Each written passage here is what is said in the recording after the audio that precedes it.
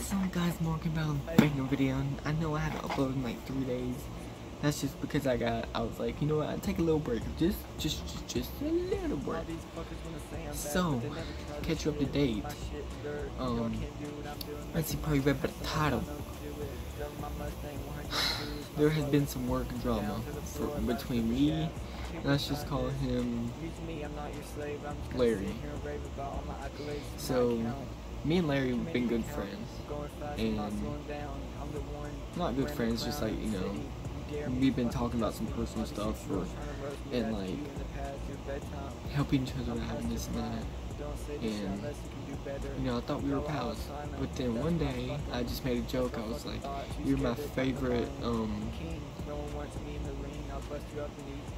made a joke about his name, and then we started talking about politics, and then you know that kind of got out of hand because he started talking crap about the person who I like, and I didn't even say anything about who he liked, and it just that that was the first instance of like him being a a-hole, I guess.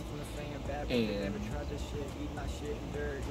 so, and then this one time, this next time, he lied to my face about two managers saying that I stayed too long in the break room. He's like, and then I told Alan, he's the manager. I was like, hey, um, do you know if that's true? If I've been staying in, uh, you know, you heard two managers talking about me staying in the break room too long. And they're like, he was like, no. And I was like, that's what, um, that's what Larry said or whatever I was calling him. And uh, he's like, don't believe everything that he says or what people say.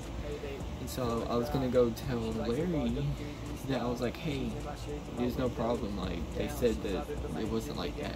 And out of nowhere, when I said that, he goes, I don't give a fuck what Ellen says. He's like, I'm trying to save your ass.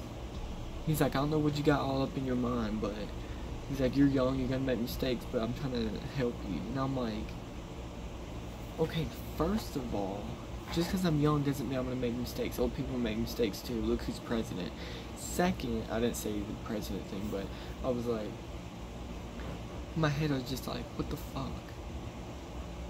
And then he was with the mind thing. He was basically just calling me stupid. Yeah, like everyone's out to get me, basically. Like, like I don't know why. Like, there's three people that I have to worry about that absolutely do not like me for some reason.